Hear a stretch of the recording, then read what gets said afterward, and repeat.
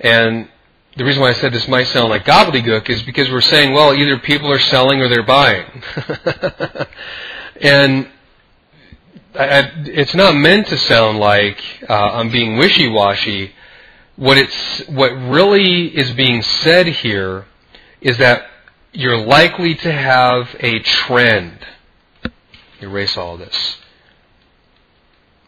So the likely thing at this point is that the market will trend, not pop up and do this again, move into a, a sort of consolidation range. The reason being, let me zoom back out. When you look at the broader scope, uh, we'll go even up to a, a monthly chart. Look at this now. On the monthly, you have the market moving up uh, in a very powerful trend. White on white does not work. Moving up in a very powerful trend, retracement, secondary move, bigger retracement. Now the third move where we've got uh, a, a pretty big retracement in. So possibly what? A, another move to the upside. But in the overall scheme of things, what's going on? Uptrend. So the overall trend is up. We could have a continuation of this trend, or in the broader scope of things, we could have a downtrend working like this, or even here. This was a, was two months worth, but look at the size of it. Okay, I, I tend to look more uh, in terms of price for a trend than I do time. You can see this one was very close to the same size.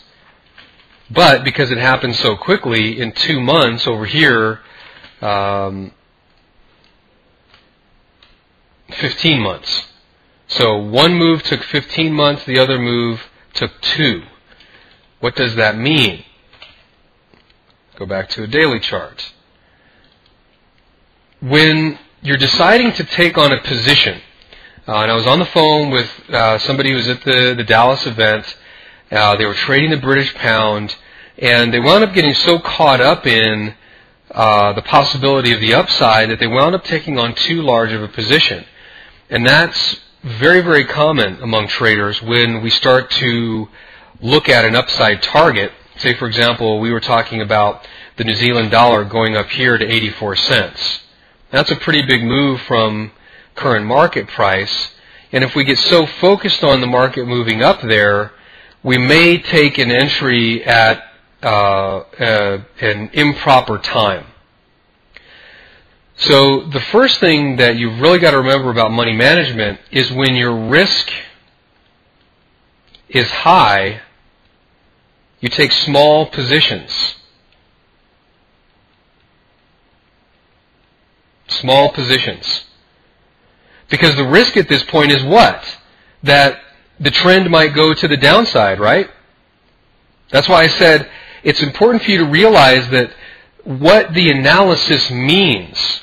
And if you have a distribution going on, that means the trend is going to go down. If you have a reaccumulation, that means the trend is likely to go up. So the risk at this point is high no matter which way you go.